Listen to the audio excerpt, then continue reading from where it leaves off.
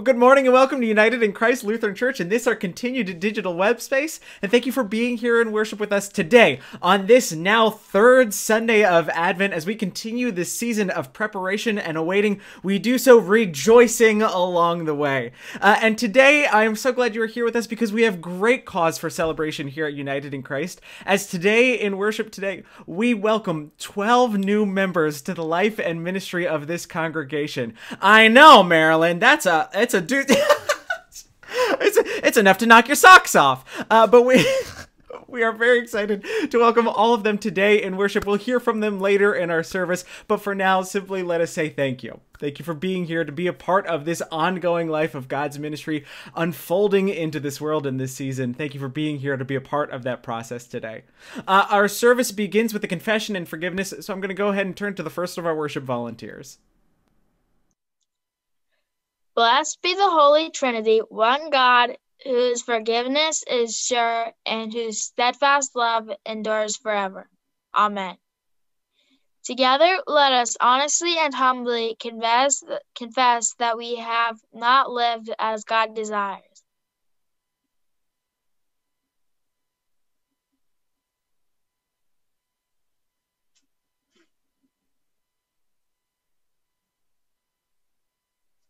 Loving and forgiving God, we confess that we confess that we are held captive by sin. In spite of our best efforts, we have gone astray. We have not welcomed the stranger. We have not loved our neighbor. We have not been Christ to one another. Restore us, O God. Wake us up and turn us from our sin. Renew each day in the light of Christ. Amen. People of God, hear this glad news. By God's endless grace, your sins are forgiven and you are free.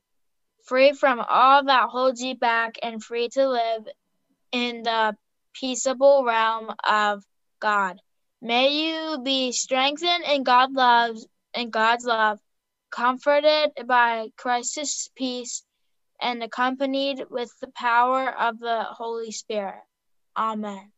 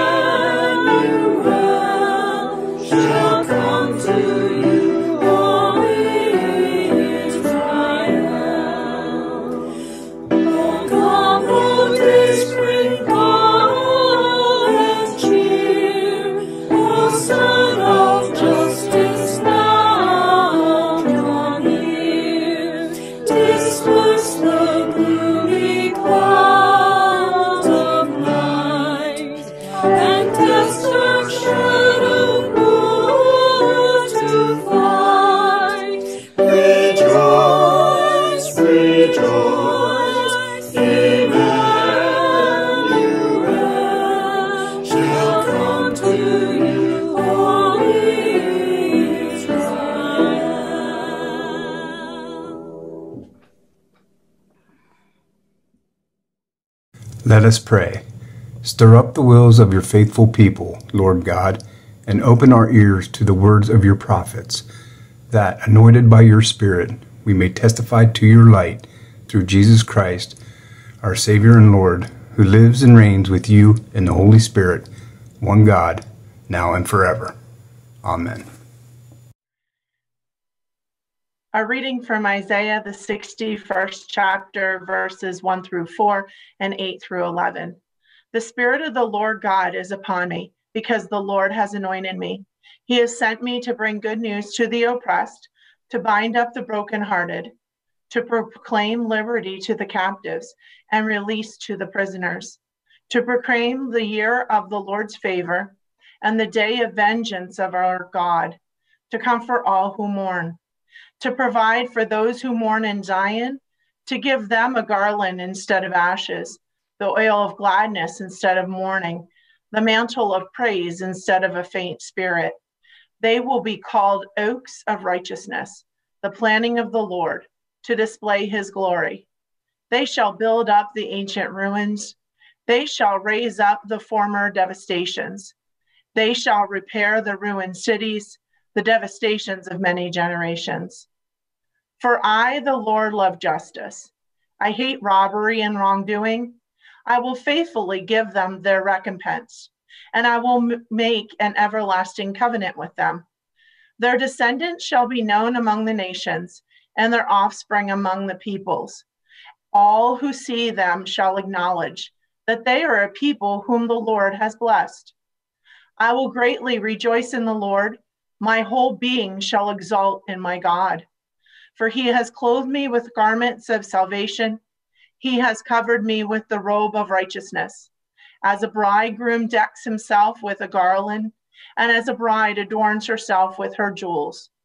For as the earth brings forth its shoots, and as a garden causes what is sown in it to spring up, so the Lord God will cause righteousness and praise to spring up before all the nations. The word of the Lord. Thanks be to God. Let us pray.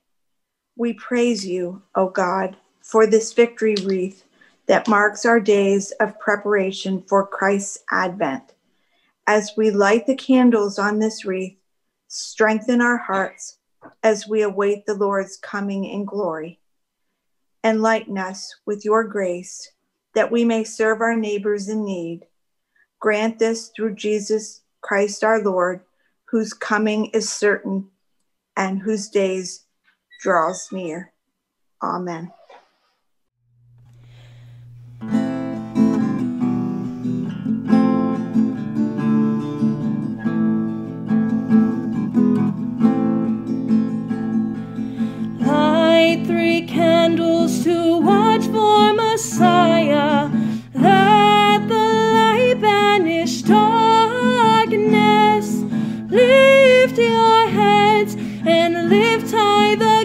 The gateway for the King of glory.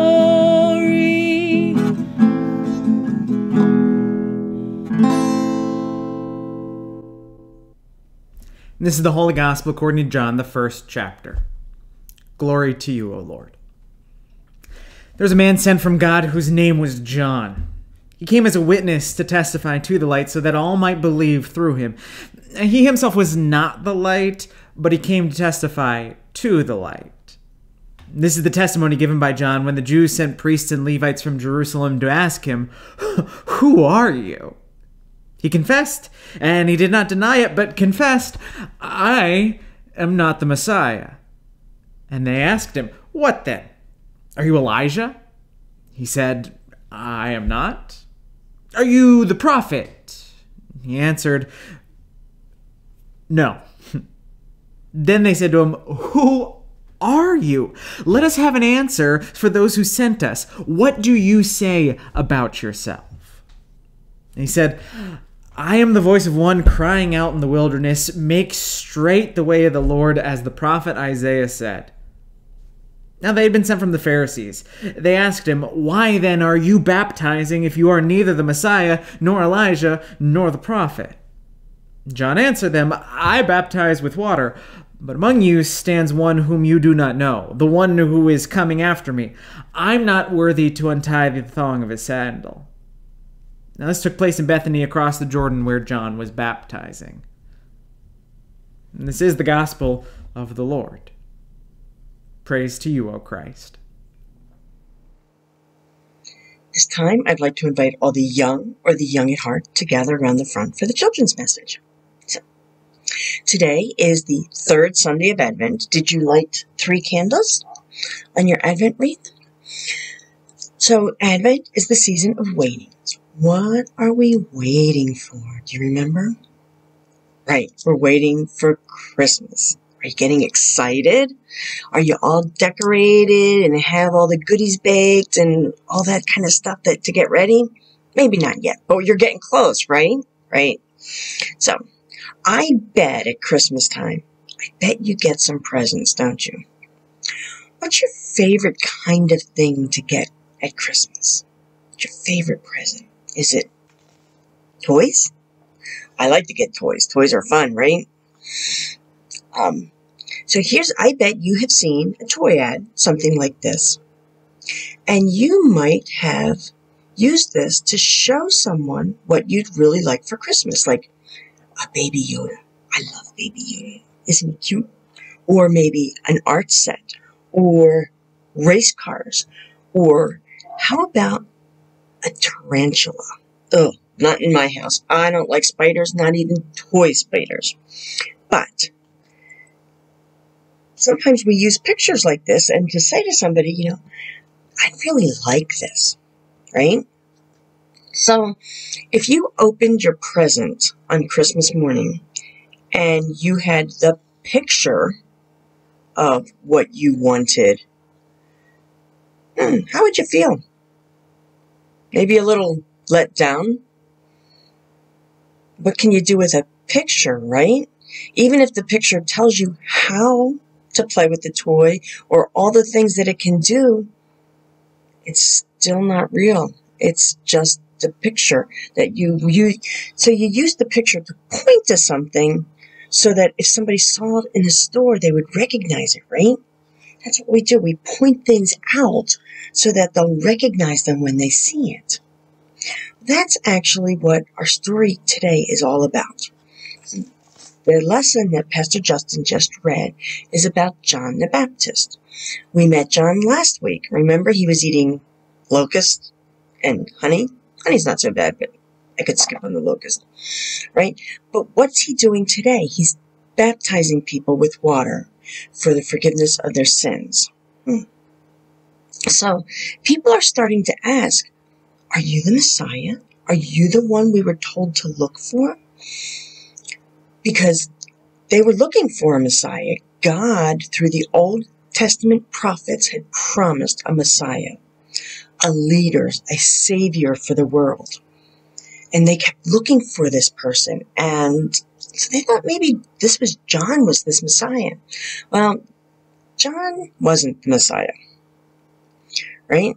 His job was to point to the Messiah so that when the people saw him, they would recognize him.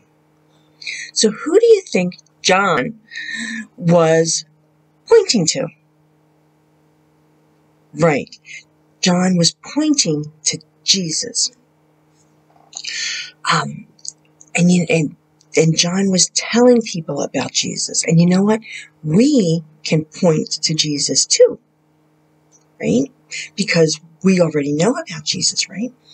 And even though we can tell people about Jesus and point to Jesus anytime, right now is probably the best time to do that. And why do you think that is?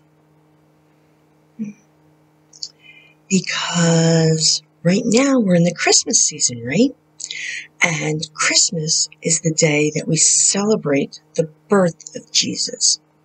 Jesus is the real message of Christmas, not the presents, although they're kind of fun, aren't they? So while everybody's thinking about Christmas, now's a good time to tell people about the real meaning of Christmas. That Jesus, God came down as Jesus, as a baby for us, for you, for me, for all people to give God's love and grace and forgiveness. Right? And this is a great time to tell people about that. And so we can point to Jesus. So when you're opening your Christmas presents, remember that the true gift of the season is Jesus and that we get to share Jesus with everyone. Okay. So before we go, and after we pray, we'll pray and then you can get lollipops. So we'll fold our hands and close our eyes. Our one true God, thank you for coming to the world as the baby Jesus. Thank you for all the people in our lives who have pointed us to Jesus. Remind us that it's our gift and joy to be able to point others to Jesus and to share your love and grace with them. In Jesus' name we pray. Amen. So, who are you? Seems to be the question of the day, doesn't it? Maybe maybe we need to rethink the inflection. Maybe I should be asking, who are you? Or maybe maybe we need to rethink the way the question's phrased in the first place. Maybe the question of the day really isn't so much who are you? Maybe the question is who do you think you are? After all, it kind of seems to be the tone with which the religious officials bring the question to John today, isn't it? As we encountered the Baptists' cry out in the wilderness last week, here, even as we change gospel writers, we don't necessarily change much of the scene at hand. Here, once again, in this now third week of preparation, in this third week of Advent, we encounter John's voice out in the wilderness, getting the people ready, preparing them for what is to come next. But here, uh, unlike in Mark's gospel last week, here we actually have a little bit of the dialogue taking place. Here we hear about what some of the other voices around John were wondering as they heard about this guy crying out in the wilderness. They want to know. They want to know who this voice is. The, the religious officials in particular want to understand by what authority this John is doing the things he claims to do. They want to know how it is he can possibly be offering a baptism for the forgiveness of sins. They want to know just who he is. They want to know who this guy thinks he could be. But like a witness who's ready to dodge every question on this stand, John simply isn't having any of their interrogation. Do you notice it? Do you notice the ways in which John manages to obfuscate and dance around any semblance of a decent answer for the religious officials? When they ask him, when they finally very bluntly put it to John, asking who he is, he answers in three parts. Well, well, I'm not the Messiah, and well, I'm not Elijah. And for that matter, I'm not any prophet either. In this question about his very identity, John, rather than declaring and staking a claim as to who he is in the positive, instead only offers three negatives about who he isn't. John must have been one of the most frustrating witnesses to ever have to get an answer out of. Because the way he would just dances around it makes clear that he is not having any part of the religious official's question. And maybe maybe that's what John the gospel writer wants us to hear in the midst of this episode. Maybe as we who read the story or hear it again watch as John dances around the religious official's questions, maybe maybe we are seeing play out before our very eyes the indictment of the question itself. Because really, when John finally does get to a sense of his identity, he makes clear that it's not even about him in the first place. As John finally makes clear by the end of our gospel text today, just what it is he is there to do, about what he is there to proclaim, John makes clear that the question they asked him in the first place was an ill placed question to begin with. The question of who are you, the question posed to John by these religious officials, it simply doesn't make sense. For John, in the course of his own ministry, it's a question that has no purpose whatsoever. It's a question that, even if he were to answer, wouldn't provide them with any great insight. It wouldn't provide them with any sense of great answers to go back with because the question misses the point altogether. As John makes clear by the end of this text about what his role is as one who comes as a witness to testify to this light that is coming into this world, as he points out to the religious officials that there is one among them who is even greater than he, whom he is not even worthy to untie the sandal of, John makes clear that their question doesn't make sense. Because who is he? Well, he's nobody when you compare it to who's coming next. John makes clear in his response that he he is of no concern. What matters isn't who he is. What matters is the one who is coming after him. As John, the gospel writer, makes clear at the beginning of this text, John the Baptist's role over the course of this story isn't to blow himself up. It isn't to give himself a self inflated sense of call or ministry. John's entire purpose is to point the way to the one who's coming next. John's voice is simply the voice of one crying out in the wilderness, Prepare the way because God is on the move. John, in refusing to answer this question of who he is, makes clear that the priorities of those who are listening shouldn't be on him in the first place at all. Their priorities should be the one who is coming to greet them. And, and as we find ourselves in the midst of our Advent preparations, maybe, maybe the question that the religious officials bring today is one we have often asked ourselves. Maybe we too have asked, Who are you? Who am I to be a part of this process? Maybe we have wondered, Are we even worthy to be a part of this call? Are we worthy to be a part of this announcement of God's arrival into this world? Are we going to be found worthy of that proclamation or worthy to be recipients of what God has in store? But what John reminds us today, in, in a way that might take us to the mat in unexpected turns, what John reminds us is that is that it's not about you. It's not about me. It's not about us. It's about the one who is arriving but it's the one who is arriving for you. See, as John points the way to this Messiah who is breaking into the world's midst, he makes clear that he has no ground to stand upon in front of this Messiah. He makes clear that his place in the world is infinitesimally small when compared to what this Messiah will bring for the sake of this world. And yet, and yet, in that identity and in that reminder is the call that says that this is still the Messiah who comes for John as well. Even though John is a nobody in the grand scheme of things, this is the Messiah who comes for him and for those who gather with him alongside the river. And just the same, as we find ourselves three weeks now into this season of preparation, as we find ourselves in these moments where we might even be questioning our own sense of identity, of who we are to stand in the midst of this process, here too we have a reminder that it's not about you. It's not about how much you measure up. You don't even have to be on the scale of worthiness, but nevertheless, God is arriving for you.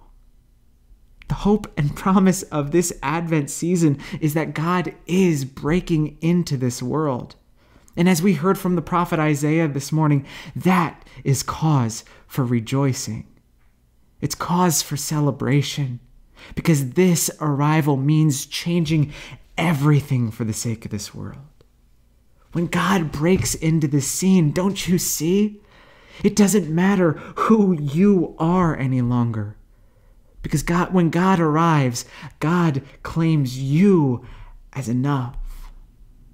God claims you as worthy. God claims you as an object of God's love and God's life. So, who are you? You might not have the answer, but rest assured that part of it entails being claimed in God's love and life. because you have been called. You are chosen as voices in this wilderness journey. You too can point the way for Christ's arrival in our midst. Because God is still coming. Christ's arrival is closer than we might think. So may we point the way. May we point the way for the sake of this world to catch a glimpse of what this arrival of love and life in God's name can be and look like for this world. Thanks be to God. Amen.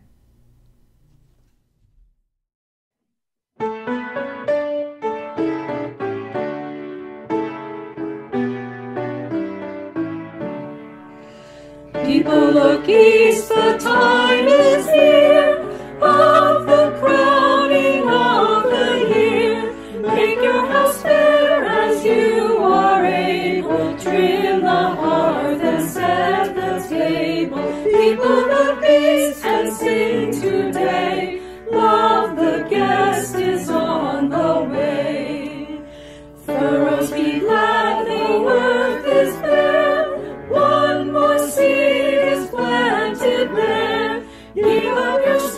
the sea to nourish,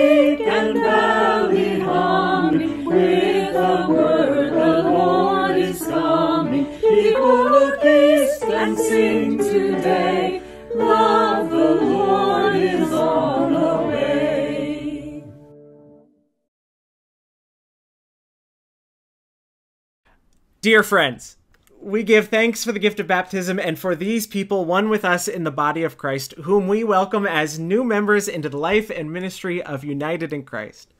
Kendall and Tara and Mary Lou and Bob and Teresa and Ron and Linda and Terry and Maya and Dylan and Chad and Dale and Cheryl have come to our congregation from many and disparate locations. And so, with the whole church, let us confess our faith. I believe in God, the Father Almighty, creator of heaven and earth. I believe in Jesus Christ, God's only Son, our Lord, who was conceived by the Holy Spirit, born of the Virgin Mary, suffered under Pontius Pilate, was crucified, died, and was buried. He descended to the dead. On the third day, he arose again. He ascended into heaven. He is seated at the right hand of the Father, and he will come to judge the living and the dead. I believe in the Holy Spirit, the Holy Catholic Church, the communion of saints, the forgiveness of sins, the resurrection of the body, and the life everlasting. Amen. In baptism, we are welcomed into the body of Christ and sent to share in the mission of God. We are called to live among God's faithful people, to hear the word of God and share in the Lord's Supper, to proclaim the good news of God in Christ Jesus through word and deed, to serve all people following the example of Jesus, and to strive for justice and peace in all the earth. And so, siblings in Christ, do you intend to continue in the covenant of your baptisms among God's people in this place? If so, say we do, and we ask God to help and guide us. We do. We do. I do. We do. We do. We, We do. We do. We do.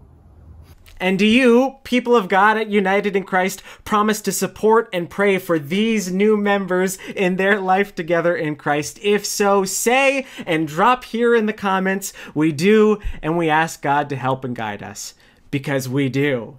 And we ask God to help and guide us. Let us therefore welcome these siblings in Christ to this community of faith. And may I, on behalf of the congregation, say that we rejoice with you in the life of baptism. Together we will give thanks and praise God and proclaim the good news to all the world. Amen. As we gather once again for our prayers of intercession for the prayers of the people, we're going to invite you to make continued use of our prayer sheets, uh, our coloring sheets that are available as a link in the bulletin, or you can look on our social media platforms for those as well. Uh, but we'll color those together as we bring these prayers before God today. God of power and might, shine your radiance and come quickly to this weary world. Hear our prayers for everyone in need.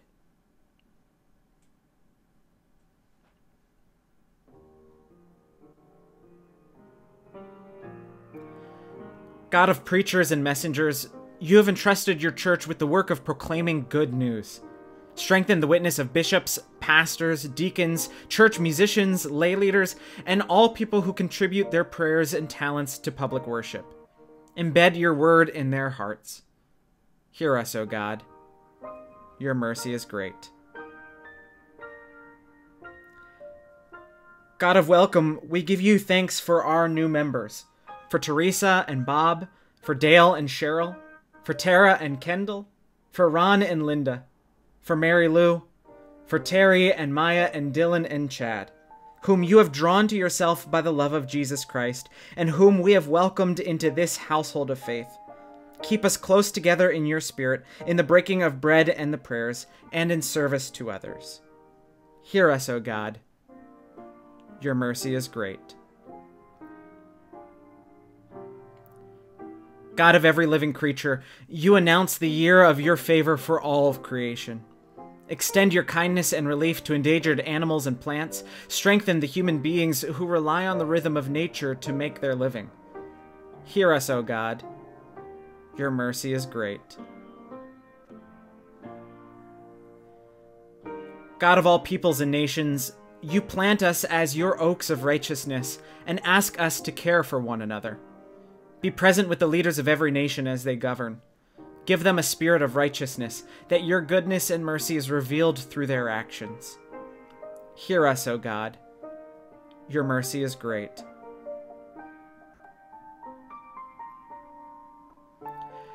God of exiles and wanderers, you repair what was once destroyed. We pray for people who have been displaced from their homes by fires, floods, earthquakes, or storms.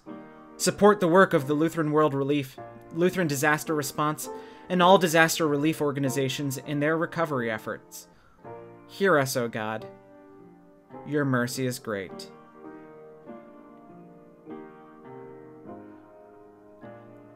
God of the powerful and the helpless, you clothe us, clothe us with the strength when our spirits are weak and weary. Bestow your spirit upon this congregation and empower us to comfort the people who turn to us in times of need. Make your church a place of refuge and healing. Today, especially, we pray for Frank and Bertie, for Ryan, for Judy, for Ken, for Dale, for Donna, for Dale, and for those we name before you now out loud in the silence of our hearts or here in the comments before our siblings in Christ.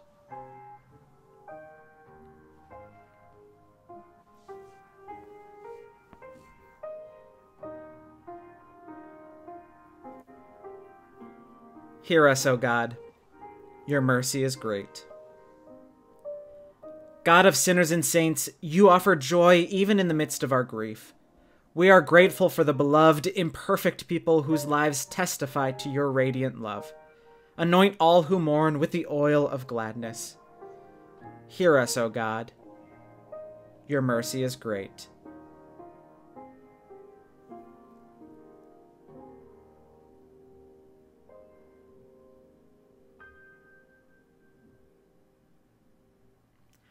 Draw near to us, O God, and receive our prayers for the sake of your Son, Jesus Christ our Lord. Amen.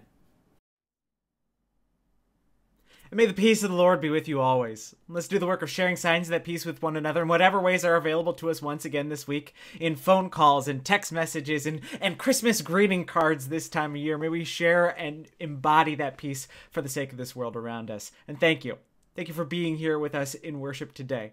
Uh, as we continue with worship, just a few couple of quick announcements. Once again, just the warmest of welcomes to all of our new members here at United in Christ. We are so excited to be partnering with you here in ministry through this life of this congregation. Uh, we are excited to join together in what God is up to through this community. Uh, we are so glad that you are here to be a part of that with us. Um, if you are one of the many visitors who have plugged in with us here at United in Christ over the years, we would love to get to know you as well. Uh, here in the comments, we invite you. I, I know that there are a number of visitors who are tuning in with us from all over the, well, honestly, all over the country. Uh, and so if you are one of those folks, we would love to get to know you better. Drop a line, drop a comment here in the section on our Facebook stream. Uh, tell us where you're viewing from, where you are tuning in from. We would love to get to know you in this way, uh, in our life together as a digital community of faith. Uh, so we would love to get to know you to better in that way. Uh, as well as we look ahead to the coming weeks here at United in Christ, uh, we continue to look forward to the ways in which we will continue to be a faith community for this Christmas season. Uh, so please know that uh, as we prepare for our Christmas Eve worship services, we will have an online worship service available just as this format is available for anyone to be able to tune in. Uh, beginning at 10 a.m. Christmas Eve, the service will go live here on Facebook and on our YouTube channel and on our website for anyone to be able to use over the course of the day for whatever time fits well for you and your family. You can worship together. You can even share the link across households. That way, if you are maintaining a socially distanced holiday season, you can still worship together with the service. Feel free to share and use at your discretion and whatever works best for you and your family in your scheduling for Christmas Eve worship. Uh, as well, for our folks at United in Christ, we will be holding a drive in worship service on Christmas Eve at 7 p.m. Uh, we'll gather together in the parking lot of the church building, not leaving our cars, but rather tuning our car radios to 87.9 FM, uh, where we will make it like the old drive in movie days to tune in for an abbreviated liturgy that evening uh, in the parking lot at United in Christ. Uh, there will be more details about that being posted in the coming weeks and the coming days, uh, but if you have any questions, please don't hesitate to reach out and let us know. Uh, as we continue this Advent season, we continue to support the ministries of ELCA Good Gifts. And so please know that any offerings that are marked as Advent offerings during this time will go to support the needs of places and communities around the world, uh, whether it's through farm animals or clean water supplies or school uniforms. Uh, we will continue supporting ELCA Good Gifts with our initiatives these days. Uh, and finally, as a great celebration, uh, I know that last week we announced that we are going to be sponsoring some residents up at Country Comfort with some Christmas gifts for this season. Uh, already, I think within like three days or something, all of the residents whose names we'd been given have been sponsored. So thank you to this community for stepping up and helping out and embodying Christ's presence in this community during this time that can be very isolating for many in around us. As we continue with worship today, though, we do so then with this morning's offering.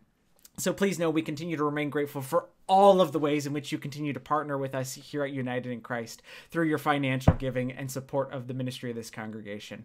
Uh, we continue to uh, take in and accept and process all of the checks that are sent into the church building, whether that's using your regular church offering envelopes or whether it's using our online giving platform through Tithely. Uh, I've posted a link to that digital offering plate here in the description of the video, but you can always go to unitedinchristlutheran.net slash giving and click on the green Give Now button to make use of that offering plate anytime during the week.